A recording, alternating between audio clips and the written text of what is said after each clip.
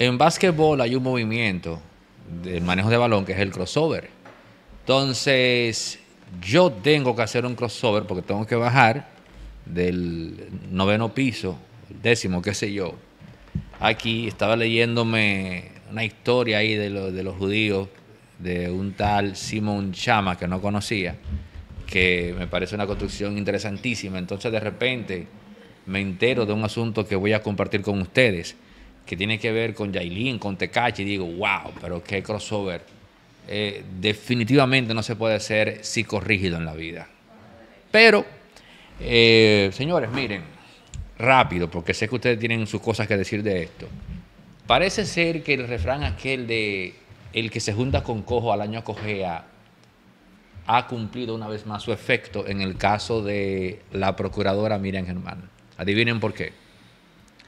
Bueno, señores, Miriam Germán ha dado instrucciones en cuanto al caso Tecachi Yailin.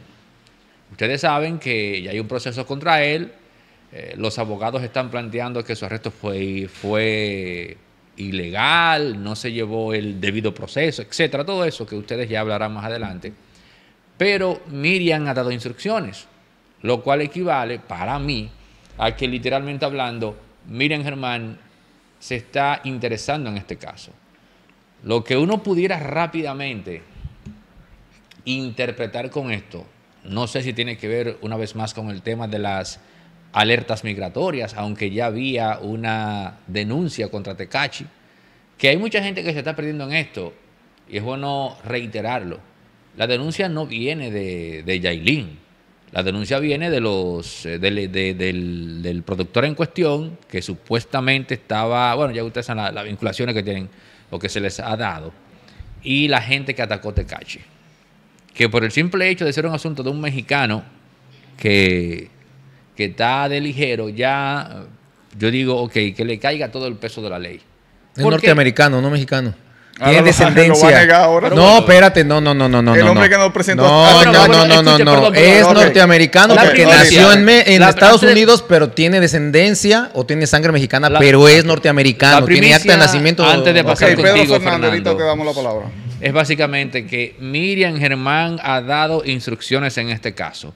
Y a mí me sorprende sobremanera ver a Miriam Germán interesada en este tipo de casos. La lectura que le doy a esto es que quizás muy tarde, señores, muy pero muy tarde, tres años y pico después, a Miriam Germán como que le está dando por eh, regular y gerenciar un poco las exposiciones de Jenny, porque miren cómo va la cosa, ahora, ahora Fefita, ahí salió Fefita, suapeando el piso con Jenny. ¿Por qué? Por el caso Tecachi, también. Entonces, por la forma, porque pareciera que iban, como dice Fefita, cuando fueron a buscar al hotel aquel donde se estaba resguardando Tekashi en Samana, parece que estaban capturando a un narcotraficante. Ya se mencionó Fefita a Figueroa Agosto, porque fue todo un séquito de policías a, buscarlo en ese sentido. Eh, a en un el, gerenciante, a, un, a un capo de sustancias. Yo no sé si el video lo vamos en amarillo, por eso que tú Ojalá que no, pero bueno, eh, a, ese, a, ese, a ese capo entonces. Pero mira.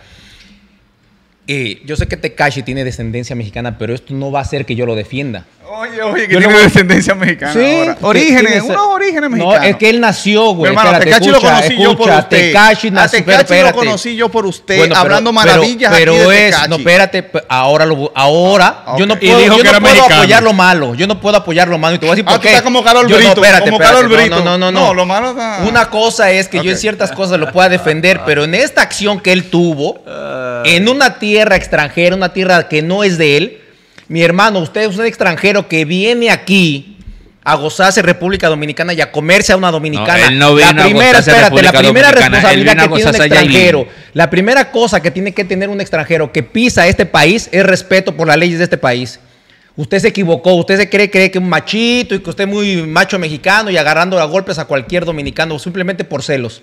Usted se equivocó. Usted lo que tiene que estar preso o que, se lo, que lo larguen de aquí, que lo saquen de aquí inmediatamente, porque no puedes venir a creerte tú que eres el matatán, a, querer mostrar poder porque se están comiendo a tu mujer y si se la están comiendo es por pendejo, porque a lo mejor la descuidaste. Cuidado. No, ¿qué me importa a mí eso? Porque a lo mejor porque él estaba celoso. El, pleito viene porque él estaba celoso de que Yailin se fue a grabar a La Vega. Tú tienes, tu, familia en México. ¿Y qué me importa a mí eso? Ten cuidado, Fernando. Entonces. Eh, te cachi no relaja.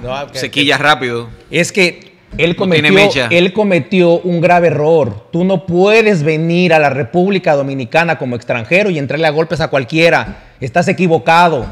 Eso habla mal de ti, habla mal, de mala educación. Digo, aunque sabemos de dónde viene Tekashi, lo sabemos, pero se supone que tuvo una, digamos, regeneración después de que salió de la cárcel.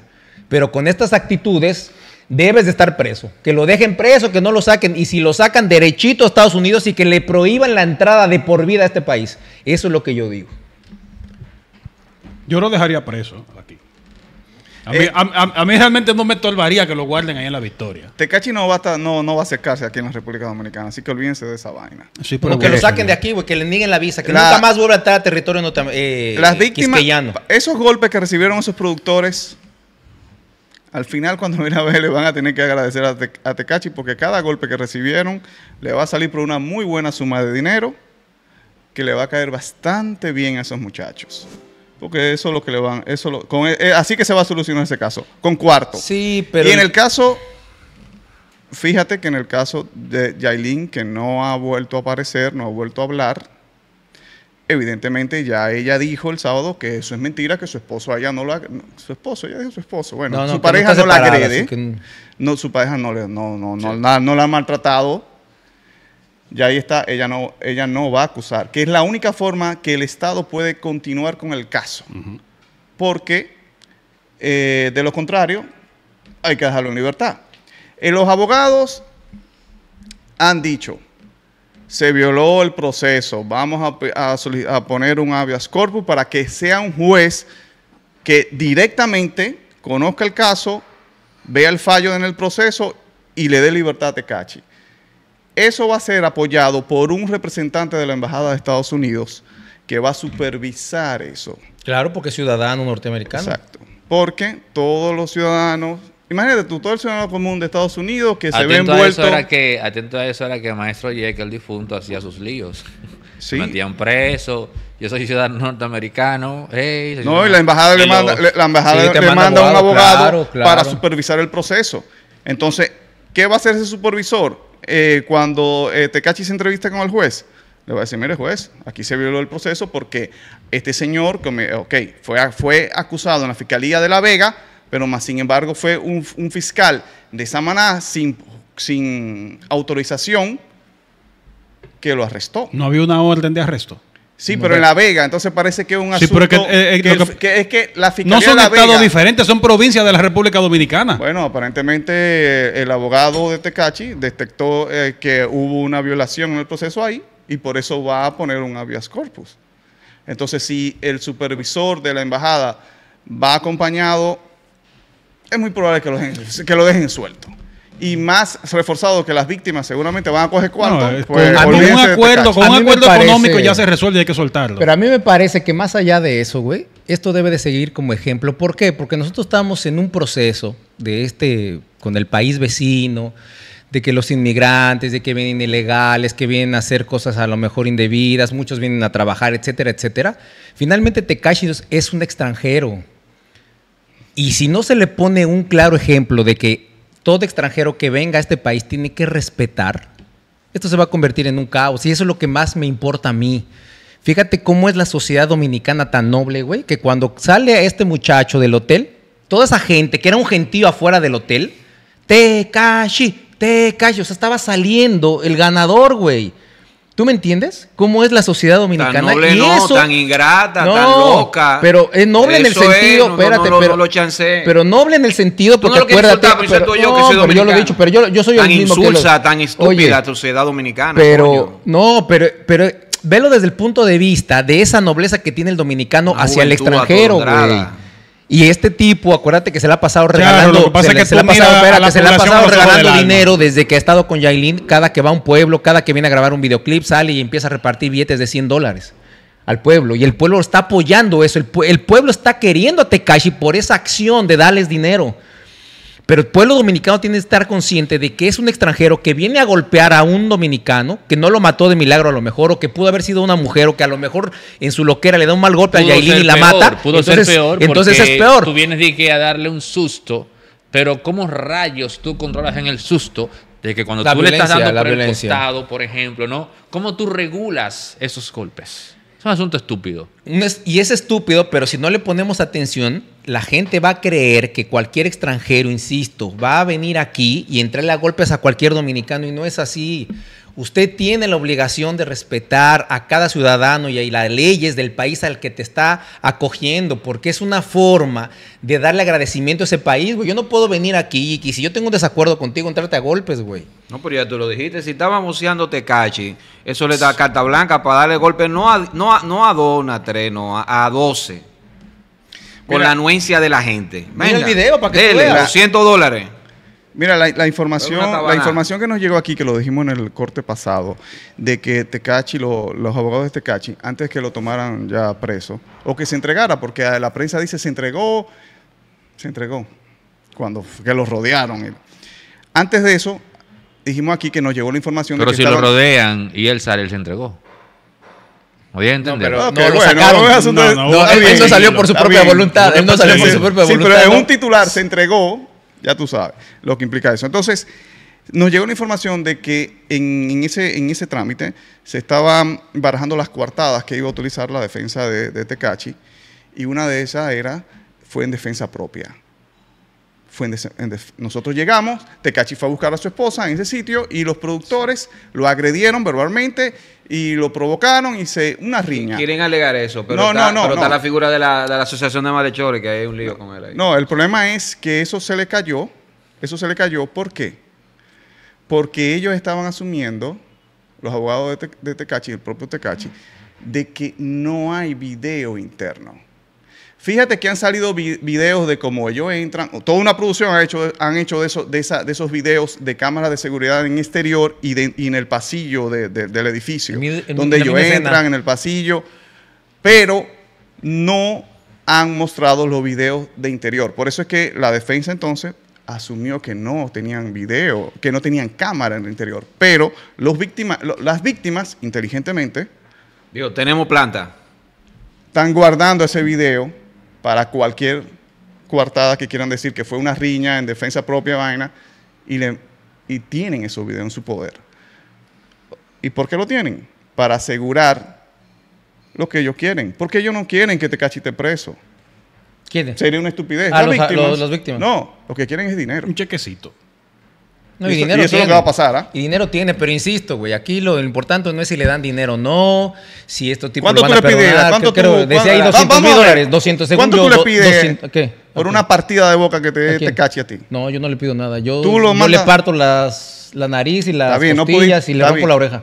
Ajá. Tú no lo, tú no ni denuncias ni le pides dinero. A, mí el tipo que me pega, güey, si él me pegó aquí, yo eh, le rompo tres costillas. Ok, pero no tuviste la oportunidad de hacerlo. No, ¿Qué haces? No, no, no, no. ¿Qué haces? ¿Lo denuncia a la fiscalía? No. Y te cachi te dice, toma. Si fue un pleito. Le pide la revancha. Y te cachi te dice, toma esos 50 mil pesos. Pero si fue un pleito de hombre a hombre, sin armas, sin nada, no importa, güey. ya hay 50 mil pesos, Maracayo. Pero si me viene con cinco tipos, si me viene con cinco tipos y me da con la cacha de la pistola, ahí hay diferencia, porque están alegando que, que, los golpes que recibió este productor fue con la cacha de una pistola. Ahí ya hay un arma de por medio, ya hay un arma blanca, digamos, ahí se convirtió en un arma blanca porque no, lo utilizaron una pistola un arma de fuego. Bueno, no, pero no lo, no lo usaron como... sí, pero, pero, implica amenaza. Ahora, ¿qué hacía Tecachi en Samaná? No, porque... se, iba a ir en, se iba a ir en Yola. Ah, sí. No, se, supone, que, se supone que fue y dar los dio los golpes y se fue a encerrar allá con los amigos a Samaná. ¿Qué, qué, qué hacía en Samaná? O sea, porque él no se intentó ir varias veces por varios aeropuertos. Sí, eso, lo que, eso es lo que dicen. Sí, eso es lo que dicen eso, como que él se fue por un lado. Bueno, habían dicho al principio. Por acá. Habían dicho no, capturaron. me, me, voy en Yola por aquí. Capturaron. Agua. Bye, me voy por ahí. Habían dicho capturaron a Tekashi en el aeropuerto en un avión eh, privado que... Y no era verdad, él estaba en Samaná. No lo agarraron en ningún avión privado, estaba en Samaná. No, no, se dice que él eh, en el trámite de alquilar el avión, en ese trámite, él no llegó al, aeropuerto, pero en el trámite de alquilar el avión, la, compañía de aviación le pide los pasaportes y para chequear todo, y ahí es que la compañía de aviación se da cuenta de que eh, ese cliente tiene un impedimento de salida, se lo notifica vía telefónica. Una notificación que no es lo mismo. Y ahí te cacha y dice, ¿qué? ¿Que no puedo salir? Ok, fue, y se fue a encontrar. La, la, misma notificación la de, la, que, la, que, la de Jan Alain. Sí, la misma de Jan No, no es lo mismo porque Jan Alain no tenía una, un orden de, una orden de arresto. Pero, pero este, pero este pero tenía, pero, sí. Pero este no tenía impedimento, tenía las notificaciones, era la misma. No, pero es que, es que son cosas que son automáticas. Porque no estaba preso. Ya se había empezado un proceso. Si él tenía orden de arresto, ¿él tuviera que estar preso en ese momento? No. Es que no lo pero tenían. lo que pasa es que no lo pudieron agarrar preso porque él no fue, él, estaba él no fue al aeropuerto y no, no, no tuvo en poder eh, o acercamiento con un, autoridad. con una autoridad de migración fue un asunto de oh. envió el pasaporte a la compañía. O sea, ya Aló, tengo un avión ahí que no está usando que me alquile. Dime tu número de pasaporte. Amigo, no tiene una orden de arresto. El, a, ah, la, compañía, eh, a, ah, la compañía de aviación le, le comunica a su cliente, este no podemos alquilar el avión porque aquí vemos que usted tiene un orden, una orden de impedimento. Un impedimento de salida, Pero qué rapidez, porque se supone que eso sucedió en la noche, eso sucedió en la noche, y al otro día, ya los periódicos, yo leí en el listín diario que decía, capturan a Tecashi a punto de salir en un avión privado. Mira, Fernando. Al otro día. Sí, ese titular estuvo mal, porque de verdad dijeron capturan. Capturan. Eh, pero a eso voy, precisamente. Lo que he aprendido en estos cuatro años, trabajando comunicación en YouTube y lidiando diariamente con las noticias, y que en ocasiones uno ya directa o indirectamente puede contactar a las partes involucradas. Es que créanme, lo que se dice en los periódicos, en el 70% de los casos, dista radicalmente de la realidad.